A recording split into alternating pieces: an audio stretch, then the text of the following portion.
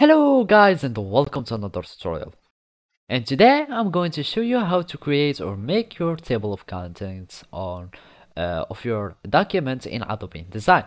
So the first thing that I want you to do now is to open your Adobe InDesign uh, document and follow these simple steps.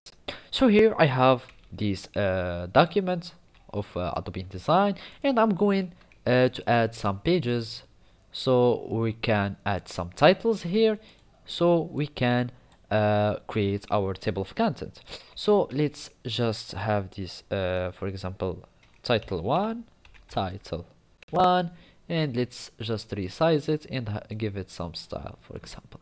So properties I'm going to add here for example 30 uh, give it another font. Uh, let's make it for example like this one. It doesn't really matter now I'm going to add this paragraph style and uh, go uh, search for paragraph styles. Here are they. And add them. This is my paragraph style now. And search for the selection tool. I'm going to select this and give it to each spread. So this will be my table of content so uh, no. Control V. Now I'm selecting like that. And as you can see this is my uh, pages uh, titles or chapters for example. And now we want to create our table of contents. So I'm going to the first page and I want to be here for example and go to layout and search for table of contents.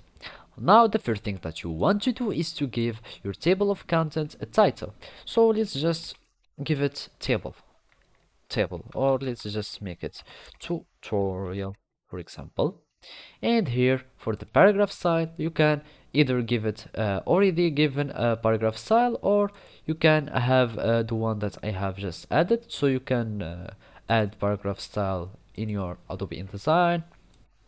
Also for example give uh, just have some styles here and put this style for example and add this one. And now we will click ok. And you will want to lay out your table of content somewhere.